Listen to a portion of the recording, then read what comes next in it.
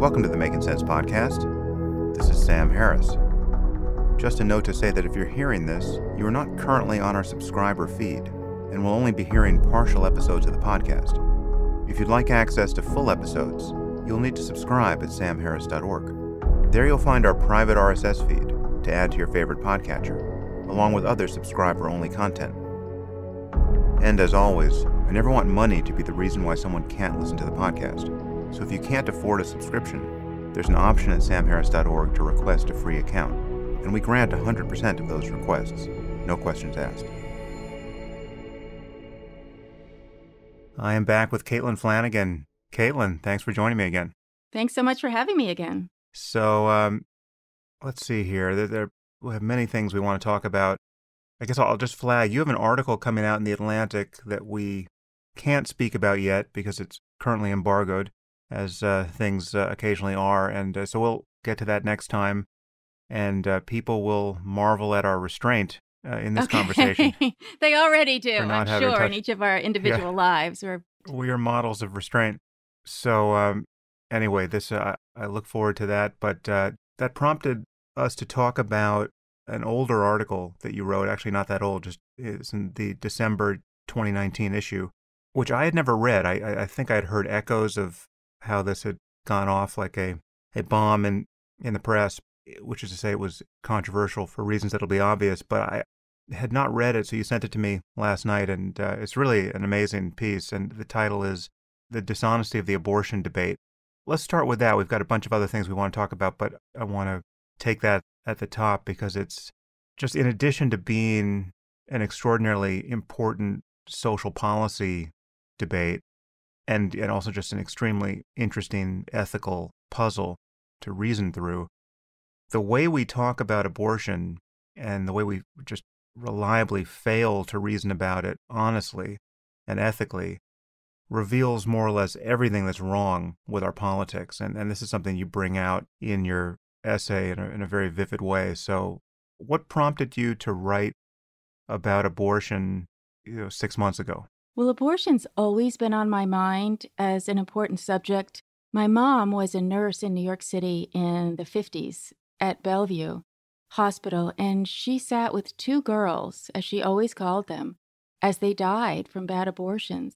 You know, an, an abortion is it's the kind of thing that done correctly in a medical office by someone who knows what he or she is doing, very easy procedure to get right without those preconditions, it's an incredibly easy procedure to get wrong, principally in terms of sepsis. You know, it's really severe, pervasive infection that's that's very very lethal and and what made those infections even more lethal in the days of illegal abortion was that you had committed a crime so as your temperature is rising degree by degree and if you had had any other kind of medical procedure your family would have rushed you in to get medical care these women couldn't do that. They knew that they had committed a crime and the person who had performed the abortion would never help them. They were never to contact him or her again. And so it was just a very, very, very terrifying thing for young women. And this was in the days that she was doing this work, uh, just, you know, being an RN, she wasn't really called to what we would now call, I guess, reproductive justice or, or anything like that. She was just a young young woman who would, you know, always wanted to be a nurse. And and she was seeing that young girls right in front of her, these two who died, all they tried to do was have a private sexual life in some way. You know, could have been a forced sexual encounter, you know, she didn't know, we'll never know. But that the in those days, the consequences of being single and pregnant were devastating you would be thrown, if you were getting an education, that would be the end of that. If the person who may got you pregnant was known to your family or the community, you might be forced into a marriage with him and he into one with you, him into one with you. And, you know, no matter how abusive and horrible you both might be to each other, that was the way things were handled. And so there was just this very terrible period of really high deaths that we as a culture we don't have a great m- much memory of them they've kind of faded from the cultural memory someone i'm 58 and my mother didn't have me till she was 36 so i've got a bank of cultural memories from my mother who's long since dead, that was really delving back into the 30s and into the 40s of what this really looked like when you had women desperately trying to end a pregnancy. So I'd always been interested in that on the one hand. Mm. But on the other hand, I really remember because I remember when abortion was very much in the news in the years preceding Roe v. Wade, and I was a very small child. I mean, a young kid, I don't know what, 10 or something. And I would always hear my mother, who was super politically active and a very good woman, I would hear her saying to people, abortion, abortion, abortion, we have to have it legal. And I really remember being in the backseat of the car and saying to my mom, Well, what is abortion? And she sort of, my mother's MO up to any sexual question was to give you far too much information mm-hmm. so that you would never ask anything again. And so she kind of tried to think, how in the world can you translate this incredibly complicated situation to a child? And she said, well, it's when a woman is pregnant and she doesn't want to be pregnant, so they take the baby out and it doesn't live. And I'm like, my mom, when you're 10, your mom is just this perfect, beautiful, radiant goddess creature. And I was like, that doesn't sound good. And she was like, well, change the subject. But the reality has become more and more and more clear of that childlike intuition or sense, I should say, as sonography gets clearer and clearer and clearer. We're looking into, we're getting a view into something that's really hard to hold in our minds if we're in any way pro choice, which I am, which is that this is not a clump of cells from, I mean, someone like Ben Shapiro would say, we're just clumps of cells but it is very recognizably human from an incredibly early state. Mm. And we had a quite interesting gender divide on this at the Atlantic because we were finding images of a, of a 12 week fetus. And all the women, many of the women who were, I think, to a woman pro choice, I think our whole office is, I don't know, I shouldn't be making claims. How do I know? Maybe somebody isn't pro choice and doesn't feel comfortable to talk about that. So I shouldn't say that on anyone's behalf.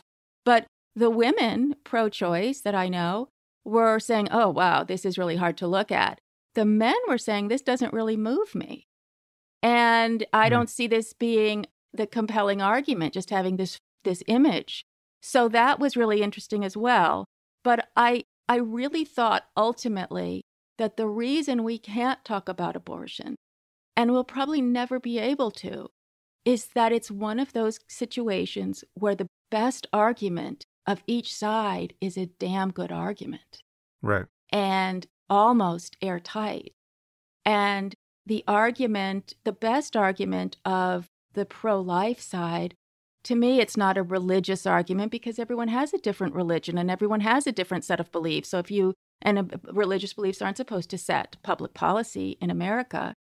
But the sonograms are incredibly powerful scientific fact.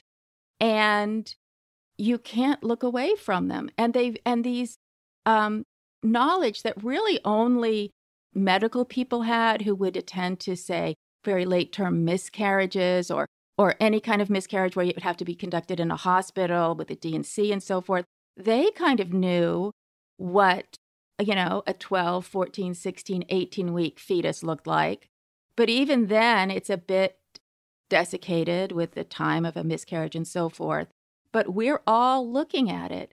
And and we have a very ambivalent idea about it because if the baby is wanted, everybody likes to run now to get one of these new 4D sonograms, which is like the first baby picture. Those very beautiful, incredibly detailed sonograms that you can now get like in a in a mini mall. They'll set up shop for that. So that's the argument. The other side is women truly die from abortions. It'll be a different kind of death in the main if it ever becomes illegal again in america a lot of things have changed access to antibiotics have changed but it will be very regressive it'll hit the poor much harder than the middle and upper class socioeconomic upper and middle class and all sorts of things happen in the lives of a woman, a life of a woman. You know, of course, there's issues of rape and, and abuse and all of that. But there's just also the fact, as I brought up in this piece with a piece of evidence, there's kind of a moment in some women's life where I just can't cope with this now. I just can't. I'm overwhelmed. And the conditions in my life, whatever they are, I, I'm not speaking for myself, I'm speaking for a woman in this situation, whether it's the nature of my relationship, whether it's my fears about the future, whether it's that I've finally got through some really horrible postpartum depressions with my first two or three, whether mm. it's I need to get away from this man, and if I can get my kids to kindergarten age, I can go back to work. Whatever it is, there is such a world of entirely legitimate reasons to get some help and terminate this pregnancy. And if you don't have it legally, if you don't have it, as I say, you can have this procedure done so safely. You know, a little prophylactic antibiotic, I believe, goes goes home with a lot of women just to completely ensure. And far from being told, as an illegal abortionist would say, the number one rule in every account you will ever see is never give my name to anyone and never contact me again. The opposite is true. If you have any temperature, if you have any discomfort, you're to call back, and we have a 24 hour line. You know, they're not letting women die of sepsis. So, this is the real conundrum. Both sides have an excellent argument. And where I've netted out is I have accepted that in abortion we lose the baby, but I'm not going to lose the woman too. That's that's where I have netted out. Mm. But other people will net out differently, but I think it's incumbent on any of us who takes a public or private opinion on this in terms of counseling a friend or voting a certain way I think we really need to think through the opposite side of our own position and see either what strengths it might have that we haven't acknowledged or what ways that our positions could be tailored to some of these absolutely true, very sad, desperate situations that both sides of the equation present us with. Yeah. In your piece, what you also just did here is make it obvious that this is a ethically complicated situation, which is not what happens politically. The political ends of the spectrum treat abortion as though it were there was just a, a knockdown case against the other side. It was so trivial and so clear that it need not even be expressed. You know, so if you're religious, life begins at the moment of conception, or abortion is murder, and we don't have to talk about why we're against murder, mm-hmm. and we can liken the the history of abortion here or anywhere else to the Holocaust or some other, you know, obvious atrocity. And, you know, end of argument. Not acknowledging, much less dealing compassionately with the ocean of suffering on the other side, for which abortion, in many cases, a very clear remedy. I mean, you just spelled out many of those cases, uh, you know, rape mm-hmm. or uh, relationship chaos that is just completely incompatible with bringing a a new child into the world. And then, but from the other side, and this is where, you know, well educated liberal types have their own blind spot. The left has treated abortion as though it were simply a question of a woman's autonomy, right, without any other ethical implications. And this is, you know, you might want to say, I mean, I think I probably would want to say that some of the the insensitivity here has been born of necessity. It's just it's a reaction to the, the dogmatism and authoritarianism of the right and the very real danger of tipping back into this awful history of you know women dying unnecessarily over botched abortions. And by the way, Sam, I would just interject. We have no idea how many died because it was very rare. A doctor worked out with a family it was such a shaming thing for mm. a, a death certificate to say abortion and for that to be in the public record that there was, it would be called peritonitis. It would be the big thing that was in the 30s. You see it all over and over. It's interesting that people didn't catch on that, oh, she ate peach, can, tinned peaches, canned peaches, or a canned tuna fish, and there was botulism in that. Mm. And that's what killed her. So we will never really know how many women died uh, uh, over and above the huge number that we know about. Yeah, so uh, let's just go into how insane some of this history was for a second, because I, in your article, which is I recommend obviously everyone read, it's not very long, but it was full of detail that I found astonishing and for some reason had never encountered. and also you link to an article by Katha Pollitt from 1997, which contained some information that I had never come across. Mm-hmm. For instance, in Pollitt's article, she points out that first of all, the the numbers of abortions that were performed under you know the medical supervision of the time was very high in the 19th century and up until the 20s. The time of truly sordid, dangerous, self-administered, you know, quote back alley abortions. I mean, that the, the peak of that was more in the 40s and 50s, and I mean, appallingly, you have like the Journal of the American Medical Association recommending that hospitals not provide medical treatment to women until they had confessed mm-hmm. fully to, you know, who had gotten them pregnant, who had performed the abortion. It was literally like a just an official recommendation of a medical inquisition mm-hmm. before you administered life-saving or potentially life-saving treatment to a woman who had shown up at the hospital, you know, at death's door. I mean, it's just completely insane. But the piece of history from your article that uh, I never knew was the role of Lysol in all of this. I mean, your article contains an old Lysol ad, which is obviously, I mean, before mm-hmm. I might want to, to read your description of it. You're, you're describing this as just an obvious ad for you know, self administered abortion through Lysol. And I'm thinking, okay, there's no way the, you know, Caitlin's too deep into this topic. There's no way this really is going to be, at minimum, it'll be susceptible to another interpretation here. Mm-hmm. But then you see the ad, and it, this is just madness. This is like some counterfactual history of the United States that I, mm-hmm. I never knew was possible. So, just anyway, describe the wonderful branding of, of Lysol we have now. Well, the deal with Lysol was that number one, it contained a chemical compound called, I think it's phenol, P H E N O L, very corrosive, excellent for cleaning. Came in uh, to, to just tie all the storylines together. It was big during cleaning hospitals during the Spanish flu because it was so powerful.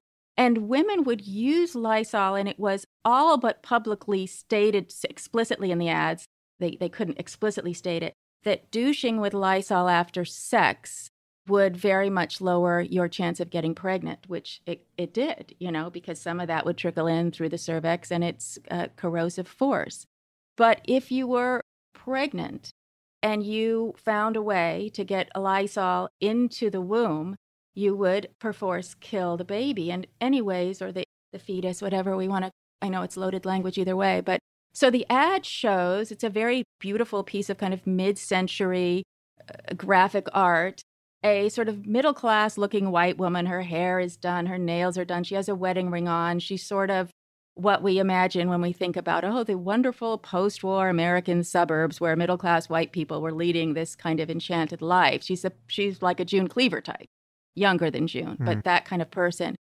And her head is behind her, there's a calendar. Which is a brilliant detail. I mean, it's, it's just, it's amazing how much information is conveyed in this photograph. Isn't it? I mean, American graphic art is it's it's like the iconography of it is yeah. just incredible yeah. for the the best of it. But so there's this calendar, and day after day is crossed off, and every woman in the world, certainly one who's in her childbearing years, knows what that means. That means you're just waiting and waiting and waiting for the period to get your period. And she has her, and believe me, to your many, I'm sure all of your listeners are younger than I am even in my lifetime there was there were no like home pregnancy tests. If you god forbid thought you were pregnant you had to wait and wait and wait and then go see a doctor. You waited as long as you could. And fortunately for me i eventually got my period. But but she has her head in her hands and the copy is i just can't face it again. Yeah. and that that's the headline. yeah and the headline sorry. graphically brilliant. And that concept of I can't face it. And it really, I first saw this, it was last May. I'd known about kind of the Lysol ads, and I had really studied the famous actress Margot Kidder, who was the Lois Lane in the first Superman movies mm and mm-hmm. had a lot of a very tragic life, maybe not unconnected to this. She wrote extensively about this abortion she had as a girl where they filled her womb with Lysol. And I thought, my God, what a hideous event. And then in May, when I saw this ad, I thought, my God, maybe it was a common event And, you know, as terrible as the internet is, the things that it's great at are incredible. I was able to do the amount of research that in pre-internet days I would probably have given up on. You know, I, I, need to I need to search all the medical journals in North America, possibly England, from this, you know, bling, bling, bling, bling. There they are, New England Journal of Medicine, something in Albany, you know, put your credit card in. And here was this incredible, terrible, untold tale of women having Lysol, this, this absolutely poisonous, legitimately toxic fluid with this very pronounced smell filled into their uterus. And it would start, yes, it would kill the life of the baby, fetus, embryo, the fetus by then, but it was would start shutting down the woman's organs. And the first case, this woman showed up, her urine was port wine colored. I mean, she was dying. She was in, when that was a typical way women would show up. I don't know what's in the piece. She's, I often don't agree with her, but I think on abortion, I'm sure we we end up at this, I know we end mm. up at the same place, but women would show up in the absolute final stages of death by sepsis. They would be very often, my mother talked about this for the rest of her life, that those two girls were both interviewed by New York City homicide detectives, young girls who had had a sexual experience. And both of them, the cops wanted the name of the person who'd done it. And she said both girls were so terrified they wouldn't give the name because that's what they'd been told endlessly by the person. You may never give my name. Something terrible will happen to you if you did. So this light these Lysol abortions, they did quite often work. But if they didn't, the chance for it becoming systemic was huge and very, very terrible deaths ensued because mm. of it. And the finally, the let's call them the products of conception, the baby, whatever, when it came out, the fetus would smell very strongly of Lysol which is just to me just a horrifying element of the whole situation.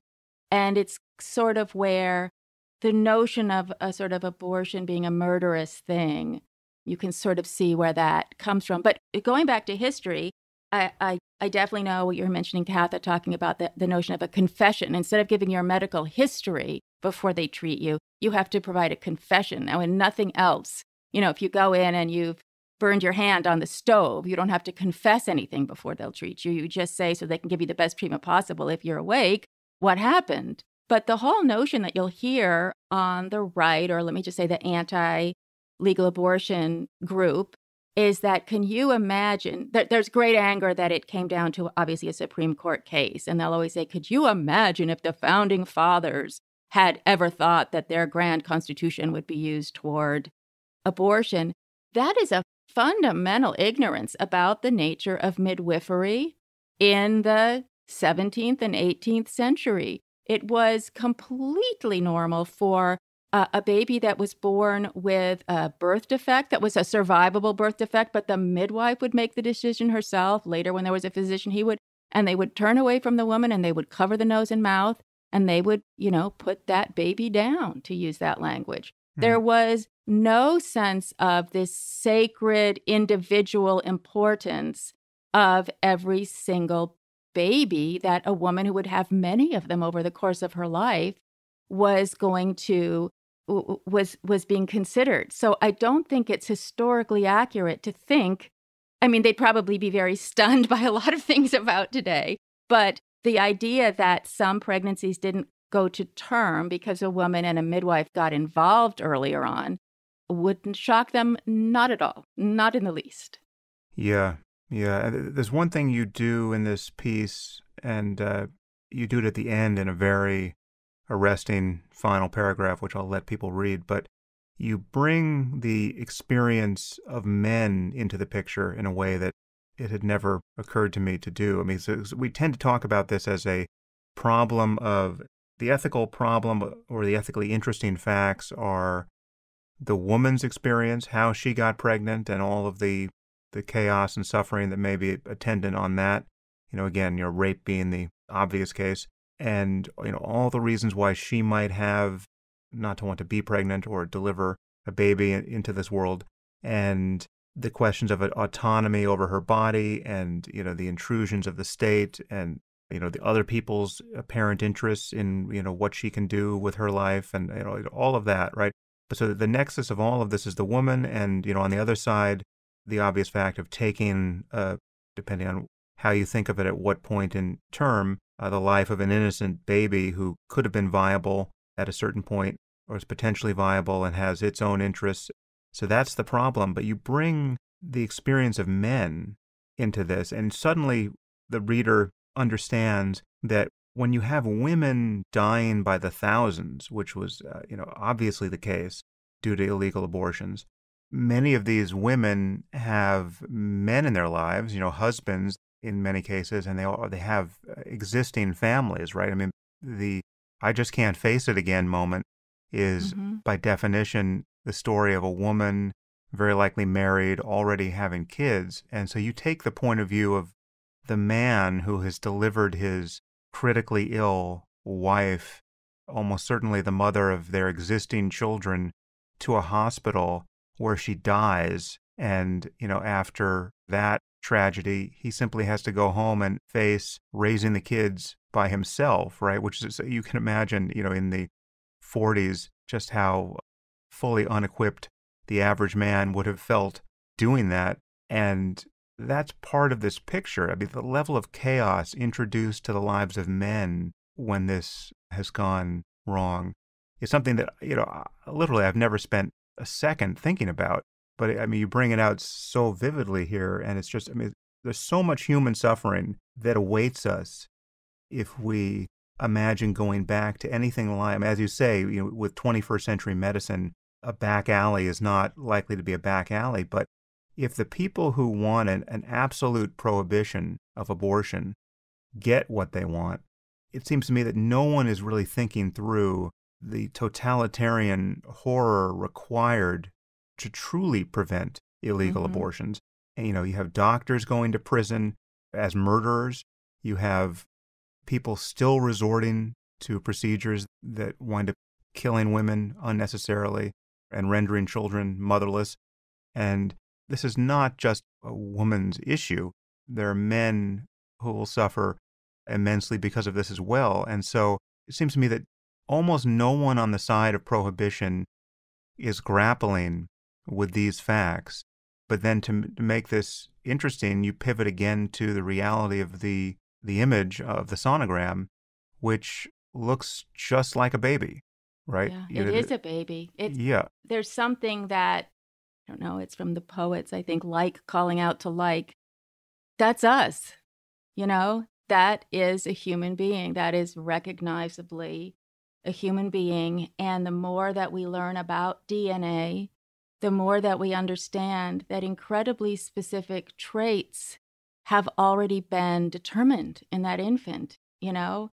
I, you know, I've got one kid who could sit through, you know, two lectures at a, fi- you know, at his second grade, and I had another kid who was like, boy, his his foot would be tapping, you know, ten minutes in because he's just a very active, lively person, always has been.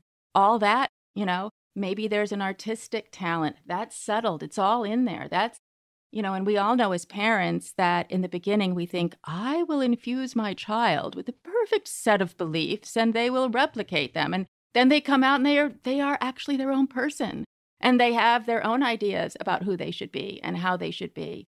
And all of that is extinguished in abortion, but I also say it's extinguished at almost exactly the same rate as miscarriage.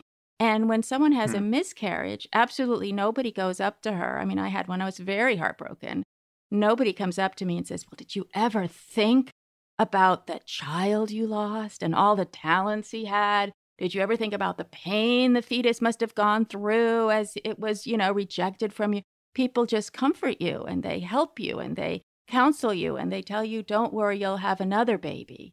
And so all of this language is is just very interesting to think about. But 20% of pregnancies end in a miscarriage and 20% end in abortion is our, our best statistics. So, you know, life is not easy to women in this whole world of mm. reproduction. It really isn't. And it never has been.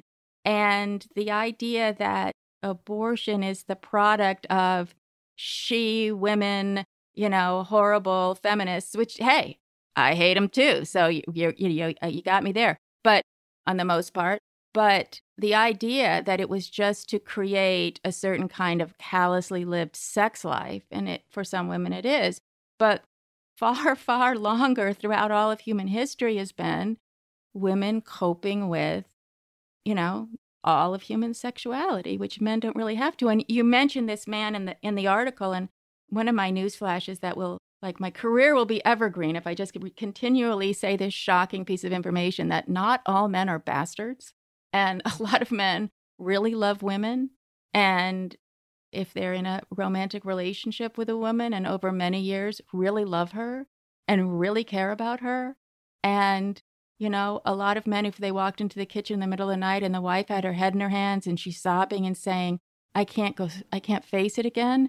A lot of men sit down and say, in the men in the male way that women tell us they hate but is actually in some situations extremely good they say let me help you let me figure this out let me help you solve this problem and and it's our problem because you know we're both pregnant i made you pregnant you know our our, our you know physical congress made you made you pregnant and so resulted in your being pregnant and our being in this situation so it's something that can be handled in a very a moving way by men. Yes, I, I want to bring up two things that you don't mention in the piece, and they seem to me to be relevant to the ethical question of where one draws the line here in terms of admitting that abortion is the the most ethical remedy to a, a non-optimal situation, all things considered. And so at the extremes, it seems to me that it's trivially easy to answer. I mean, if you're talking about a a merely fertilized egg, you know, day one, that's not a human being. You don't have to worry about the possibility of suffering. So using an IUD or anything that it is essentially performing an abortion at the earliest possible stage, you know, the morning after pill, this is not an interesting ethical question, and no one's a murderer for doing those things. If a person thinks that, well, then that person has religious ideas which uh, mm-hmm. make no sense, and they especially don't make sense in light of the fact that, as you pointed out, although not in these words, God is the most prolific abortionist of all. I, I wouldn't say that that position has no sense, the religious position. It's certainly not my position. But I, I can certainly see an, an argument outside even of their, their religious faith that would say, this is us, this is the spark of us, this is the beginning of us what we do to the least of us, etc. I mean, it's not my belief, it's not your belief, but I could see it being I could see a situation in where it's not absurd. To to me it is a bit absurd, but but anyways, I just I just have much more interest in in in I'm always kind of interested that maybe people are right about things. So I always hold space that they're right about that, but I don't believe it whatsoever. Well, it's just you, you can create a situation where you have dozens of zygotes in a petri dish mm-hmm. and it becomes especially absurd.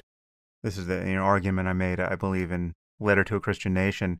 When you just think about the implications of genetic engineering, I mean, literally every, every time you scratch your nose, you're mm-hmm. engaged in a in a holocaust of potential human beings given the right manipulations. Mm. Oh, yeah.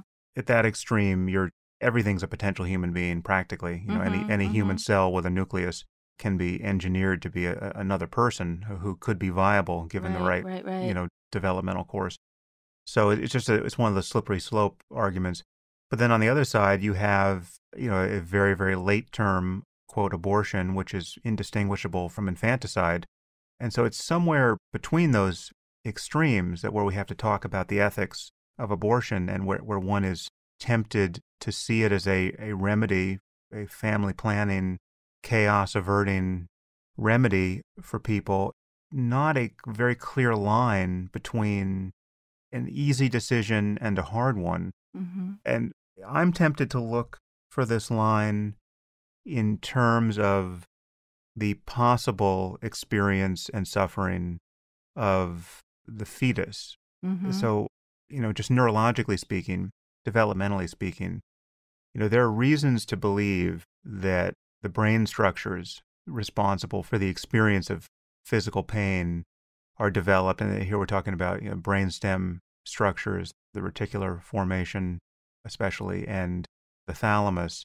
But these are subcortical structures, right? There's no reason to believe you need a cortex or even a cerebrum to feel pain, or at least there's good reason to believe that pain can be mediated before those structures are developed.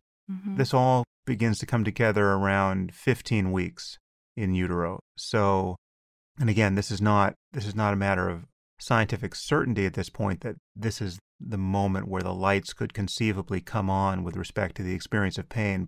But before 15 weeks and after, you know, that's a an area where the structures we know mediate pain and pain responsive behavior have you know knit together and so there is something to distinguish a first trimester from a, a, second and third trimester and certainly when you get into the third trimester you're talking about a being who has cerebral hemispheres that begin to show EEG synchrony which is a kind of landmark that many people mm. now associate with the possibility of consciousness so just neurologically speaking I think you can make a good faith argument that before 15 weeks, there is reason to believe that a fetus can't feel pain or can't likely feel pain. And as you push that closer and closer to the moment of conception, you know, if we're talking about eight weeks or seven weeks or five weeks, then concerns about the suffering. I mean, uh, you know, is whatever a, a sonogram image might do to you intuitively, the concerns about suffering are less and less reliably founded. And the fact that it looks like a baby, that concern shouldn't be that it has fingers and toes as much as whether it has a more fully developed brainstem and thalamus when you're talking about the prospect of this little being suffering or potentially suffering anything that could happen to it and therefore having interests that can be you know destroyed by a decision someone makes and and all of that. I'm not saying this completely exhausts, you know, any ethical if you'd like to continue listening to this podcast, you'll need to subscribe at samharris.org. You'll get access to all full-length episodes of the Making Sense podcast and to other subscriber-only content, including bonus episodes and AMAs and the conversations I've been having on the Waking Up app. The Making Sense podcast is ad-free and relies entirely on listener support and you can subscribe now at samharris.org.